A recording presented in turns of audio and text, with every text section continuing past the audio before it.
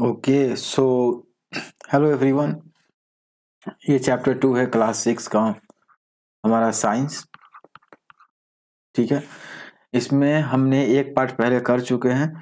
अगर इसको देखना हो तो आप डिस्क्रिप्शन में जा सकते हो आई बटन पर क्लिक कर सकते हो, वहाँ पर आ रहा होगा लिंक उसको आप देख सकते हो। एक पार्ट हमने किया जिसमें फोर्स टाइप्स ऑफ़ फोर्सेस जिसमें contact forces non contact forces non contact forces में भी कौन कौन टाइप्स थे? Gravitational forces electrostatic force magnetic force और कॉन्टैक्ट फोर्सेस में हमारा मैकेनिकल फोर्स और फ्रिक्शनल फोर्स तो फ्रिक्शनल फोर्स हमारा क्या था?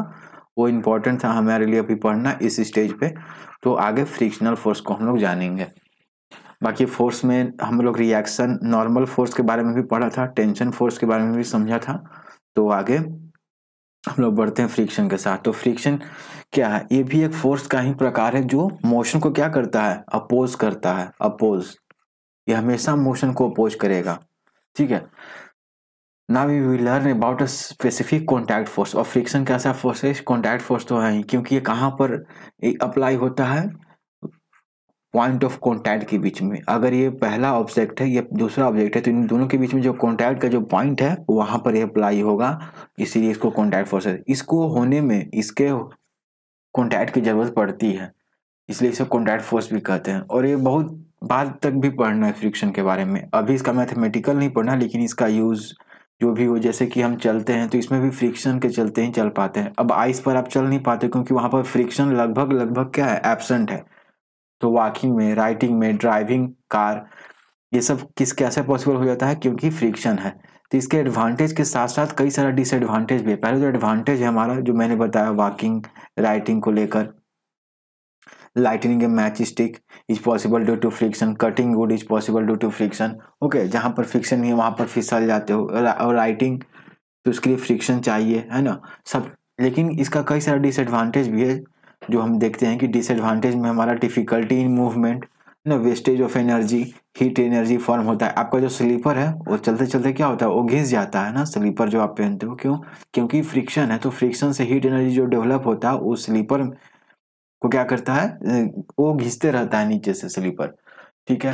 फिर प्लस में जो मशीनें होती हैं, जो दिन रात काम करती हैं तो वो जल्दी खराब हो, उनका खराब होने का चांस फ्रिक्शन के चलते हुए घिस जाती है। उनके मशीन के जो पार्ट्स हैं तो moving parts of any device wear up rapidly ठीक है? डिफिकल्टी मूवमेंट तो एडवांटेज के साथ साथ केवल इसके डिसएडवांटेज ही नहीं है एडवांटेज भी हैं तो दोनों को हमने देखा। आप वहाँ से देख सकते हो। Friction can be device friction देखो, ये है डिफिनेशन इसका।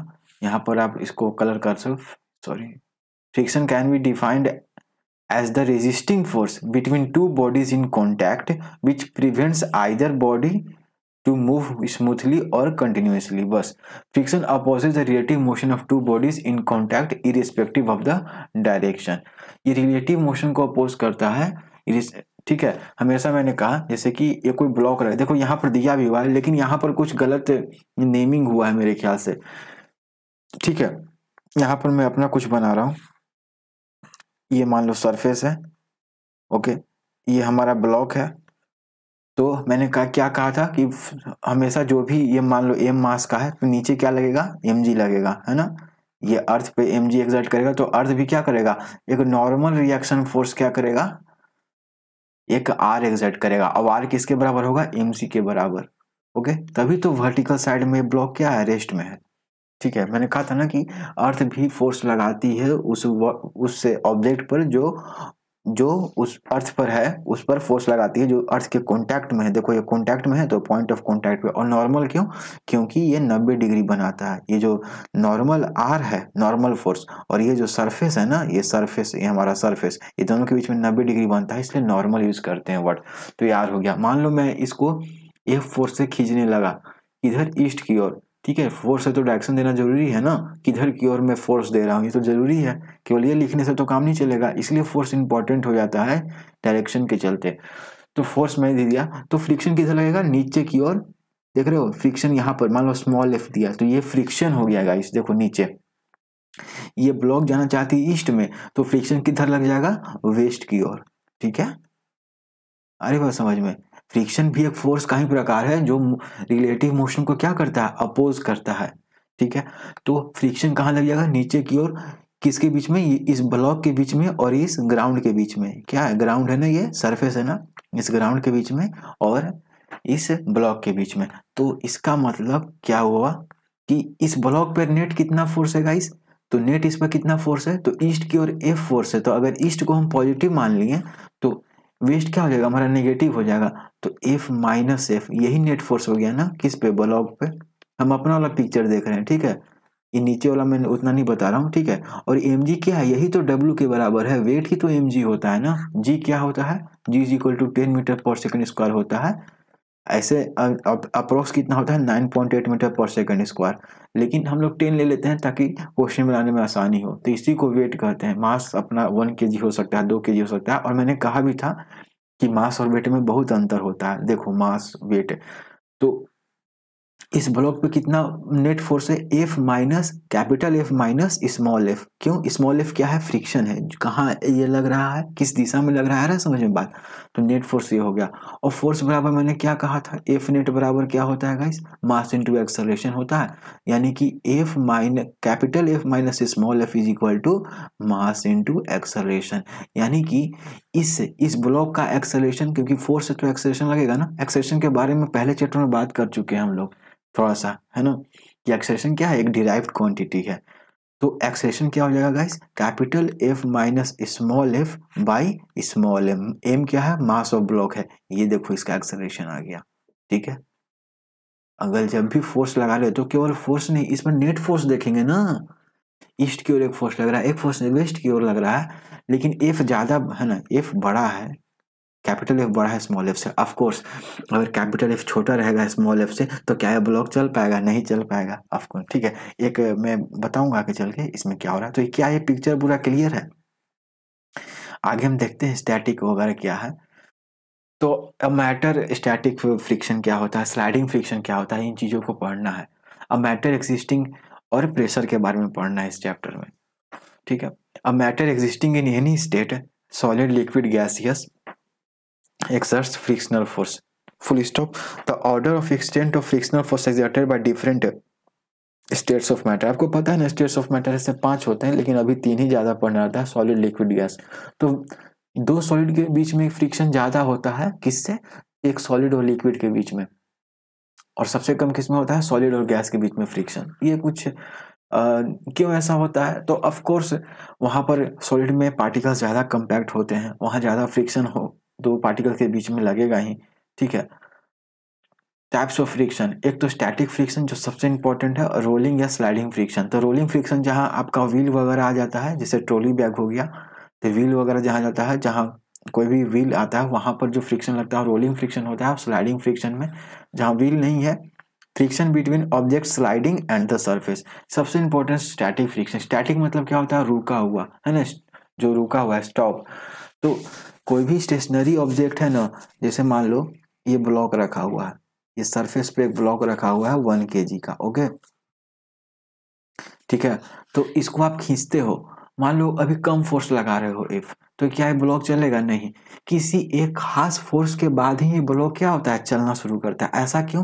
क्योंकि पीछे फ्रिक्शन लगते रहता है स्मॉल इफ़ ओके किसी खास फ्रिक्शनल फोर्स को जब ओवरकम कर लेता है देखो स्टैटिक फ्रिक्शन मान लो इसका एफ़ एस है, ठीक है? एफ़ एस इसका स्टैटिक फ्रिक्शन का है। तो जब एफ़ बराबर एफ़ एस हो जाएगा ना गाइस तब ये ब्लॉक लगभग लगभग चलना स्टार्ट कर देगा। और जब F greater than F S हो जाएगा, तब ये ब्लॉक चलना चलने लगेगा, है ना? ठीक है? और लेकिन जब F less than F S होगा एफ़ एस क्या है? स्टैटिक फ्रिक्शन है।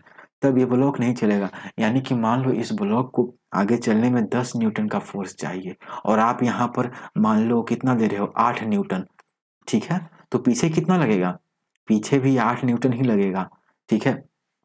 इस ब्लॉक को चलने के लिए मान लो, इस ब्लॉक का स्टैटिक फ्रिक्शन कितना है? दस न्यूटन। लेकिन आप आठ ही न्यूटन दे रहे हो ईस्ट की तरफ़ तो वेस्ट की तरफ़ कितना लगेगा? आठ न्यूटन लगेगा। ऐसा नहीं कि पीछे दस न्यूटन लग जाएगा। पर चला कि तुम आगे खींचना चाह रहे हो, ब्लॉक ही तुमको खींच के चला गया। ऐसा थोड़ी होगा। तुम नौ न्यूटन दोगे तो पीछे भी नौ न्यूटन लगेगा। क्यों? क्योंकि फ्रिक्शन एक एडजस्टेबल फोर्स है। लेकिन जैसे ही तुम दस न्यूटन दोगे, अब ये स्लाइड करना धीरे धीरे ये बस चलने ही वाला है। लेकिन जब तुम ग्यारह न्यूटन फोर्स दे दोगे और पीछे दस न्यूटन ही लगता रहेगा तो तुम्हारा इधर की ओर, ईस्ट की ओर कितना फोर्स लग जाएगा टोटल? ग्यारह न्यूटन ग्यारह न्यूटन माइनस दस न्यूटन। फिर से देखो।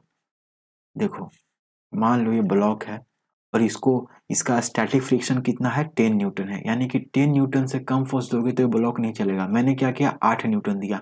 तो पीछे भी आठ न्यूटन लग गया। कौन लगाया? फ्रिक्शन लगाया।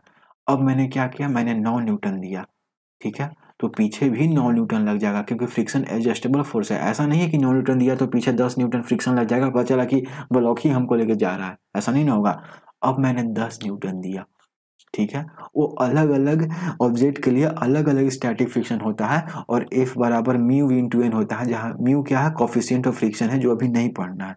वो अलग, मैं बस बता रहा हूँ एग्ज़ाम्पल के लिए। अगर मैं अब दस न्यूटन लगाया तो पीछे भी दस न्यूटन लग रहा होगा, यानी ब्लॉक लगभग लगभग चलने वाला होगा। अब मैंने जैसे ही ग्यारह न्यूटन लगाया ना, या दस से थोड़ा भी ज़्यादा लगा दिया ना, ग्यारह तो थोड़ा ज़्यादा हो गया तो ये ब्लॉक चलने लगेगा। और पीछे कितना लग रहा होगा? दस ही लग रहा। ऐसे एक कनेक्ट स्लाइडिंग फ्रिक्शन भी होता है तो कैनेटिक फ्रिक्शन थोड़ा अलग होता है, लेकिन जो भी हो तो ये अभी भी दस लग रहा होगा तो ब्लॉक चलना स्टार्ट कर देगा। आ रही बात समझिए फ्रिक्शन एडजस्टेबल फोर्स है। Static friction exist between stationary object and a surface it is directly proportion to the force applied on it in order to make it move its value is maximum when the body begins to just move बोला ना body जब just move करने वाला था तो पीछे कितना force लग रहा था? दस न्यूटन। बाकी समय में आठ, नौ, दस आगे बात समझ में। ठीक है? तो जैसे ही जस्ट मूव करने वाला होगा तो स्टैटिक फ्रिक्शन का वैल्यू सबसे मैक्सिमम लगता है। मैंने यहाँ पर क्या मान लिया था? कि स्टैटिक फ्रिक्शन दस न्यूटन है। ठीक है? क्योंकि फ्रिक्शन भी एक फोर्स ही है। ठीक है? तो इसका यूनिट क्या होता है? न्यूटन ही होता है। और स्टैटिक फ्रिक्शन सबसे ज़्यादा होता है स्लाइडिंग फ्रिक्शन उससे थोड़ा कम होता है रोलिंग फ्रिक्शन सबसे कम होता है। ऑफकोर्स रोलिंग में तो ट्रॉली बैग आप देखते हो, जब भी आप ट्रैवल करते हो तो ट्रॉली बैग के नीचे एक व्हील व्हील वगैरह लगा होता है तो वो इसीलिए ताकि फ्रिक्शन को कम कर सके। Static and sliding friction does not get affected by the area of the surface of contact provided the mass of the object is same static और स्लाइडिंग फ्रिक्शन किससे अफेक्ट नहीं होता है? एरिया से। जैसे मान लो, ये दो बॉक्स है, और दोनों का मास सेम है ओके लेकिन दोनों का देखो एरिया अलग अलग है ना कॉन्टैक्ट का, ये ज़्यादा बड़ा एरिया है और नीचे छोटा एरिया है। लेकिन फिर भी दोनों का स्टैटिक और स्लाइडिंग फ्रिक्शन सेम ही होगा। एरिया पर डिपेंड नहीं करता है मास पर डिपेंड करता है। क्या? स्टैटिक और स्लाइडिंग फ्रिक्शन लेकिन और किससे अफेक्ट होता है स्टैटिक स्लाइडिंग फ्रिक्शन स्मूथनेस पे। स्मूथनेस ज़्यादा होगा तो फ्रिक्शन कम लगेगा। स्मूथ स्मूथनेस कम होगा तो फ्रिक्शन ज़्यादा लगेगा। वेट ऑफ़ ऑब्जेक्ट ऑब्जेक्ट का वेट ज़्यादा होगा तो फ्रिक्शन ज़्यादा लगेगा। ऑफकोर्स ठीक है। लेकिन अभी उसे मैथमेटिकली एक्सप्रेस नहीं कर रहे हम लोग। ये सौ के का है, ये पचास के जी का। तो ऑफकोर्स यहाँ पर ज़्यादा फ्रिक्शन लग रहा होगा पीछे की ओर, है ना? मैं आगे ले जाना चाहता हूँ तो फ्रिक्शन किधर लग रहा होगा पीछे की ओर? ये पचास के जी का है तो दो ही बातों पर डिपेंड करता है स्टैटिक और sliding friction smoothness of the surface and weight of the object और किस पर डिपेंड नहीं करता है? Area of the surface of contact लेकिन एक शर्त है कि दोनों का मास सेम होना चाहिए। ओके दोनों बॉडी का अगर एरिया अलग अलग भी है, ठीक है, दोनों बॉडी का एरिया अलग अलग भी है, लेकिन मास सेम है तो क्या है? कोई इफ़ेक्ट नहीं पड़ेगा स्टैटिक या स्लाइडिंग फ्रिक्शन पे। ठीक है मेथड टू रिड्यूस फ्रिक्शन आप सबको पता है हम लुब्रिकेंट्स का यूज़ करते हैं मशीनों में बॉल बेरिंग जो साइकिल में यूज़ करता है, क्यों? क्योंकि इस फ्रिक्शन को कम किया जा सके। पॉलिश कर देते हैं सरफेस को। ठीक है यूज़ ऑफ़ व्हील जो ट्रॉली बैग में आप देखते हो स्ट्रीम लाइन शेप एयरक्राफ्ट का जो स्ट्रीम लाइन शेप होता है, यानी मछली का जो शेप होता है, उसी तरह जहाज़ों का भी शेप होता है। क्यों? ताकि फ्रिक्शन को रिड्यूस किया जा सके, जो फ्लूड से जनरेट होता है।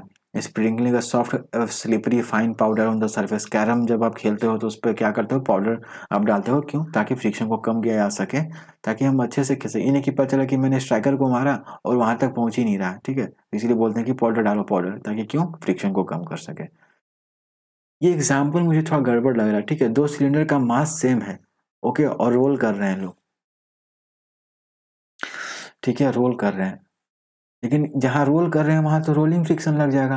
और यहाँ स्टैटिक और स्लाइडिंग फ्रिक्शन दिया हुआ है। तो स्टैटिक और स्लाइडिंग फ्रिक्शन किससे अफेक्ट नहीं करता? है अगर दोनों बॉडी का मास सेम है, लेकिन area of surface of contact अलग अलग है, फिर भी स्टैटिक और स्लाइडिंग फ्रिक्शन सेम रहेगा। लेकिन यहाँ पर क्या है? इस एग्ज़ाम्पल में दिया हुआ है कि टू सॉलिड सिलेंडर रोलिंग है। रोल ऑन द सर्फेस ठीक है? दो सिलेंडर है। सिलेंडर देखे हो ना। ठीक है? दो सिलेंडर है। एक और सिलेंडर होगा। दोनों का अलग अलग रेडियस है, मैंने तो एक ही बना दिया अलग अलग radius if radius of B is double ठीक है? बी ज़्यादा बड़ा है सिलेंडर का। ठीक है?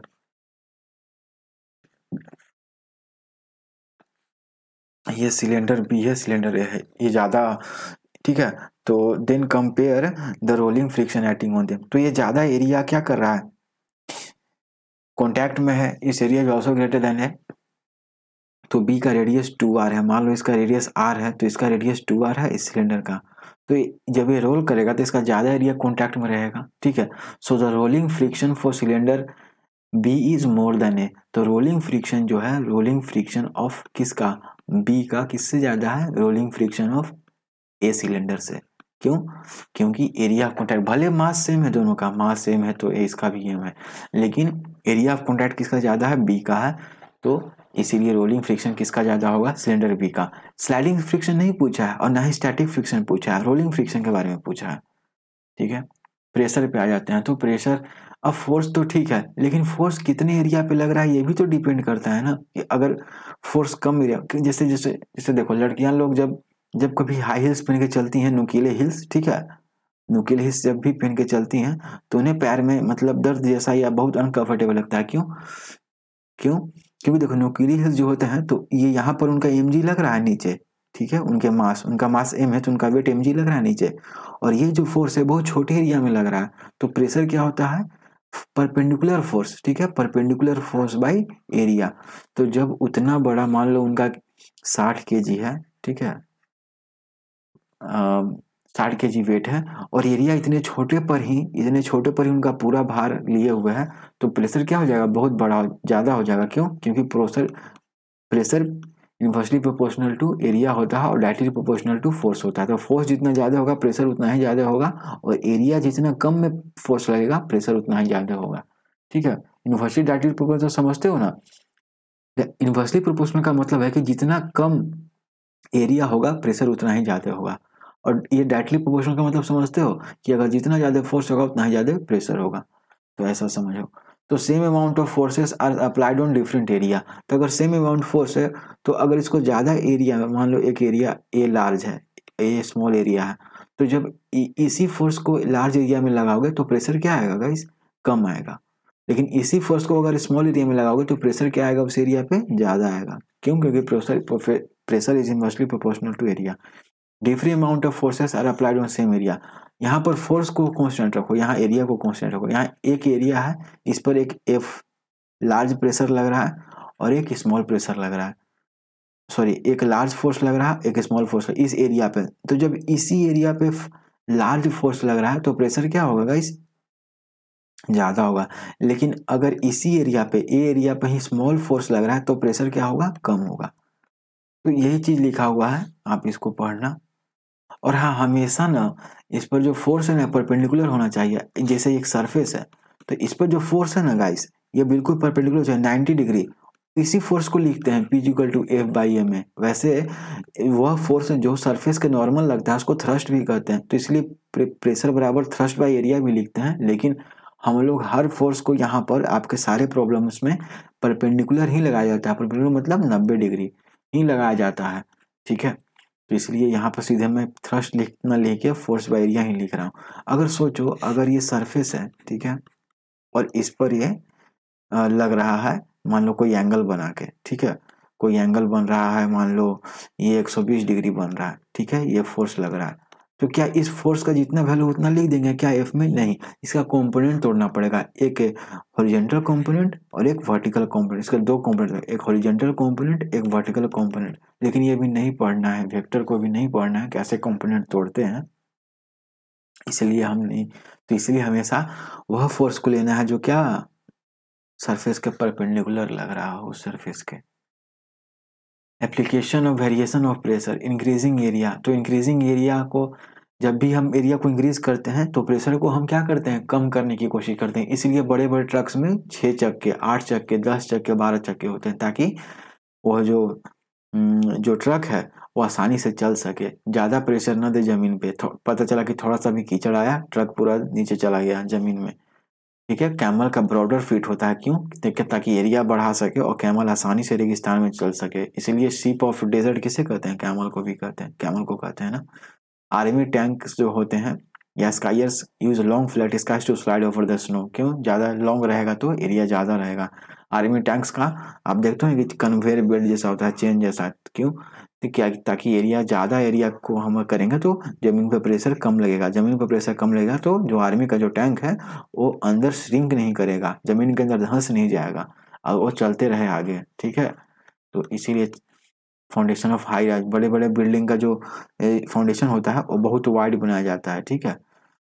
क्यों? तो क्योंकि इस बिल्डिंग का जो भी फोर्स आएगा नीचे ना, उसको ज़्यादा एरिया मिलेगा तो प्रेशर कम पड़ेगा इस एरिया पे। तो ये हो गया इंक्रीजिंग एरिया बाकी रिड्यूसिंग एरिया तो छोटे छोटे कांटे होते हैं जो आपका नोटिस बोर्ड पर जो यूज़ होते हैं जो जो होते हैं ना तो जो कांटे जैसे नेल्स होते हैं, उनका, उनको क्या किया जाता है? शार्प बनाया जाता है। क्यों? ताकि एरिया को कम कर देंगे तो प्रेशर ज़्यादा लगेगा। समझ रहे हो? कटिंग इंस्ट्रूमेंट लाइक जैसे चाकू हो गए तो चाकू को जितना पतला, बहुत तेज रखा जाता है, ताकि एरिया कम किया, चाकू का एरिया कम किया तो प्रेशर ज़्यादा लगेगा ना। अगर तुम सब्ज़ी काट रहे हो और चाकू का जो एरिया है वो कम नहीं है, नुकीला नहीं है। नुकीला नहीं है मतलब तेज नहीं है, धार नहीं है उसमें तो प्रेशर कम लगेगा तो सब्ज़ी नहीं कट पाएगा। लेकिन अगर एरिया कम कर दिया मैंने, धार बढ़ा दी, धार बढ़ाने का मतलब है एरिया को कम करना। अब जब उससे सब्ज़ी काटोगे तो प्रेशर ज़्यादा लगेगा, उतना ही फोर्स पे और उस सब्ज़ी काट काट सकते हो। उसी तरह कुल्हाड़ी वगैरह का ब्लेड वगैरह का एग्ज़ाम्पल दिया हुआ है। एक एटीएम में कितना प्रेशर होगा छिहत्तर सेंटीमीटर ऑफ़ मरकरी कॉलम अभी तो हाइड्रोस्टेटिक का चैप्टर भी चल रहा है, उसमें भी बताया हुआ है। यूनिट्स ऑफ़ प्रेशर एक तो सीजीएस होता है और एक एसआई होता है। एसआई में प्रेशर का यूनिट क्या होता है? Newton per metre square newton per metre square या इसी को क्या, इसी को ऐसे भी लिखते हैं। न्यूटन एम के power minus two newton per metre square या इसी को क्या बोलते हैं? पास्कल भी बोलते हैं। पास्कल एक साइंटिस्ट का नाम था ना? और सीजीएस में क्या होता है? डाइने पर सेंटीमीटर स्क्वायर है ना? तो एक किलो पास्कल यानी एक किलो का मतलब वन थाउज़ेंड ना? और इंटू पास्कल तो एक किलो पास्कल में कितना पास्कल होता है? One thousand pascal. और एक न्यूटन पर मीटर स्क्वायर में कितना डायने होता है? Ten dyne per centimetre square. ठीक है? ये कैसे आया? क्योंकि हमें पता है कि एक न्यूटन में कितना डायने होता है? Ten to power five dyne होता है। और एक मीटर स्क्वायर में, एक मीटर स्क्वायर में कितना सेंटीमीटर होता है? Ten to power four centimetre square होता है। तो इसी को मैंने रख दिया। एक न्यूटन मीटर बार फाइव डाइन अपॉन एक मीटर स्क्वायर मीटर बार फोर सेंटीमीटर स्क्वायर। तो ये क्या आ गया? बराबर ten dyne upon centimetre square. ठीक है तो एक एग्जांपल करते हैं। एक kilo pascal pressure is required to carry ability a machine which can apply ten to bar five newton force is to what should be the maximum area on this force is applied so activity ठीक है, एक activity है। कुछ machine कुछ काम होगा। तो ठीक है। तो एक काम को करने के लिए कितना फोर्स प्रेशर चाहिए? प्रेशर और फोर्स में अंतर होता है ना गाइज़ तो एक काम को करने के लिए कितना प्रेशर चाहिए? एक किलो पास्कल ओके और वो मशीन कितना फोर्स दे सकती है? दस के पावर पाँच न्यूटन। तो पूछ रहा है कि मैक्सिमम एरिया कितना होगा जिस पर ये फोर्स लगेगा? तो हमें ये कितना प्रेशर मिलेगा? एक किलो पास्कल तो एक किलो पास्कल यानी वन थाउज़ेंड पास्कल ये फोर्स हो गया। फोर्स इक्वल टू क्या होता है? सॉरी ये प्रेशर हो गया। प्रेशर इक्वल टू क्या होता है? फोर्स बाई एरिया तो ए इक्वल टू क्या हो गया इस सौ सौ हो गया सौ मीटर स्क्वायर। तो यानी कि अगर सौ मीटर स्क्वायर एरिया पे, ठीक है, सौ मीटर स्क्वायर एरिया पे कितना फोर्स पड़ना चाहिए? कितना फोर्स पड़ेगा गाइस? दस के पावर पाँच न्यूटन फोर्स पड़ेगा किस पे? सौ मीटर स्क्वायर पे। तो कितना प्रेशर लगेगा तो कितना प्रेशर यहाँ से जनरेट होगा? इस इस एरिया पर कितना प्रेशर जनरेट होगा गाइस? एक किलो पास्कल जनरेट होगा। अच्छा मैंने एरिया को बढ़ा दिया। ठीक है, अगर मान लो दस के पावर पाँच न्यूटन फोर्स अभी भी लग रहा है, लेकिन एरिया को मैंने सौ मीटर स्क्वायर से क्या कर दिया? मान लो एक सौ पाँच मीटर स्क्वायर कर दिया, मान लेते हैं। तब क्या होगा प्रेशर का? तब प्रेशर कम हो जाएगा। तब एक किलो पास्कल से कम प्रेशर इस एरिया पे लगेगा। लेकिन मान लो कि मैंने एरिया को घटा दिया, मान लो पंचानवे मीटर स्क्वायर कर दिया, तब क्या होगा? और फोर्स उतना ही लग रहा है इस एरिया पे। कितना नॉर्मल फोर्स लग रहा है, कितना? दस के पावर पाँच न्यूटन। तब प्रेशर का क्या होगा? प्रेशर एक किलो पास्कल से ज़्यादा लगेगा। तो इसलिए मैक्सिमम एरिया पूछ रहा है। क्योंकि अगर सौ मीटर स्क्वायर से अगर ज़्यादा मैक्सिमम एरिया हम यूज़ करेंगे ना तो प्रेशर क्या होगा? एक किलो पास्कल से कम हो जाएगा। ठीक है, लेकिन हमें चाहिए मिनिमम एक किलो पास्कल चाहिए ही चाहिए वो प्रेशर क्यों? क्योंकि किसी काम को, एक काम है जिसको करने के लिए मिनिमम इतना चाहिए। तो इसीलिए 100 मीटर स्क्वायर मैक्सिमम एरिया है। क्यों? क्योंकि अगर इससे मैक्सिमम लेंगे ना थोड़ा सा भी तो क्या होगा? उस एरिया पर प्रेशर एक किलो पास्कल से कम लेगा। हाँ इससे कम एरिया लेंगे तो कोई प्रॉब्लम नहीं होगा। ठीक है? तो इसलिए व्हाट्सअप द मैक्सिमम एरिया पूछ रहा है ना? समझ में आ रहा है क्यों मैक्सिमम पूछ रहा है? फिर से सोचना क्योंकि pressure directly proportional to force होता है और इनवर्सली प्रोपोर्शनल टू एरिया होता है। मैं बता चुका हूँ इसको। सो है, ठीक है? तो इसका हमारा आंसर हो गया, कितना? सौ metre square area maximum area जिस पर दस के पावर पाँच इंटू का फोर्स लगेगा तो मिनिमम कितना प्रेशर जनरेट होगा इस एक किलो पास्कल। और एग्ज़ाम्पल भी चलो बना ही देता हूँ, ठीक है? बाकी आगे टेस्ट ऑफ़ टेस्ट और कंसिडर भी बनाना स्टार्ट कर दो सारे। एग्ज़ाम्पल बनाता हूँ। Five pascal of pressure is required to exert an area to be exerted on area इतना, ठीक है? Five pascal full stop a box is place on that area and the surface of contact is exactly इतना। What should be the mass of the box so that exactly five pascal देखो। एक area एक जगह है, ठीक है? इस पर एक बॉक्स रखा जाता है, ठीक है? एक बॉक्स हमारा रखा जाता है। ठीक है? और ये कितना है इसका एरिया अढ़ाई सौ मीटर स्क्वायर है ठीक है? और प्रेशर कि, कितना जनरेट हो रहा है? फाइव पास्कल किस पे? इस एरिया पे। इस बॉक्स के नीचे जो एरिया है ना फाइव पास्कल का प्रेशर जनरेट हो रहा है और एरिया कितना है? अढ़ाई सौ मीटर स्क्वायर। और बॉक्स का भी एरिया अढ़ाई सौ मीटर स्क्वायर है। तो मान लेते हैं कि इसका मास एम है तो नीचे कितना लग रहा होगा इस नीचे एम लग रहा होगा। और एम ही तो एम वेट है, लेकिन वेट भी तो एक फोर्स का टाइप है। तो इसलिए मैं क्या लिखूँगा? और इस परपेंडिकुलर लग रहा है ना? ये क्या लग रहा है? परपेंडिकुलर लग रहा है ना? ठीक है? सरफेस के परपेंडिकुलर लग रहा है ना? तो पी इक्वल क्या हो जाएगा? एम फोर्स और फोर्स क्या है? एम जी बाई यहाँ एम जी है ना? क्योंकि ये एम मास का क्या लिया है हमने? ब्लॉक लिया है बॉक्स लिया है, ठीक है? तो P is equal to m g mass मुझे नहीं पता एम जी बाई कितना है? अढ़ाई सौ। लेकिन पी का कितना वैल्यू है? पाँच पास्कल, है ना? तो पी की जगह पाँच पास्कल लिख दिया मैंने। यहाँ पर पी की जगह पाँच पास्कल। तो एम जी का वैल्यू कितना हो गया गाइस पच्चीस पाँच, एक सौ पच्चीस से ठीक है? इतना क्या हो जाएगा? न्यूटन एम जी ठीक है? लेकिन जी का वैल्यू कितना होता है? दस मीटर पर सेकंड स्क्वायर ना? बराबर? इतना न्यूटन। तो एम जी का वैल्यू क्या हो जाएगा गाइस ये मल्टीप्लाई में है टेन तो आर में आके डिवाइड में हो जाएगा तो बारह सौ पचास बटा दस हो जाएगा ना। दस के जी यानी कि एम बराबर एक सौ पच्चीस के जी फिर से बताता हूँ। देखो, मुझे एक एरिया दिया हुआ था अढ़ाई सौ मीटर स्क्वायर और इस एरिया पर कितना प्रेशर लगा था? पाँच पास्कल। तो कह रहा है कि उस ब्लॉक का क्या बताऊँ? मास बताओ, जिसको मैं इस अढ़ाई सौ मीटर स्क्वायर एरिया पर रखूँगा तो पाँच पास्कल का फोर्स आएगा। ठीक है? तो पाँच पास्कल इजिकल इजिकल टू क्या हो जाएगा? एम जी बाई हो जाएगा क्यों? क्योंकि ये ब्लॉक जब रखेंगे तो मास एम है तो नीचे इसका फोर्स लग रहा होगा। कितना? एम जी वेट तो लग रहा होगा ना? और वेट भी तो फोर्स का टाइप है ना, नीचे। और कैसा लग रहा होगा? ये जो फोर्स लग रहा है, ये सरफेस के परपेंडिकुलर लग रहा है, नब्बे डिग्री बना रहा है। रही बात समझ में? ठीक है? तो एम जी बाई ये हो जाएगा ना? ये कितना है? अढ़ाई मीटर स्क्वायर है। तो यहाँ से मैंने उस ब्लॉक का मास कितना निकाला एक सौ पच्चीस के जी तो एक सौ पच्चीस के ब्लॉक अगर अढ़ाई सौ मीटर स्क्वायर पर रखा हुआ है तो कितना प्रेशर लग रहा लगे जनरेट होगा? पाँच पास्कल का। तो हमारा आंसर क्या हो गया? एक सौ पच्चीस के जी हमारा आंसर हमेशा साफ़ लिखा करो। So thank you so much आगे इसका टेस्ट योर कंसेप्ट भी आएगा और आगे का चैप्टर्स भी करवाए जाएँगे। चैनल अच्छा लगा तो सब्सक्राइब करने में कंजूसी मत करना। सब्सक्राइब कर लो वीडियो लाइक कर लो वीडियो को शेयर करो। जल्दी तैयारी शुरू करोगे तो जल्दी अच्छे रिजल्ट्स आएँगे। है ना जी एडवांस में? मई ट्वेंटी ट्वेंटी नाइन में आपको एग्ज़ाम देना है, अगर आप अभी सिक्स में जाने वाले हो तो है ना? So thank you so much for watching this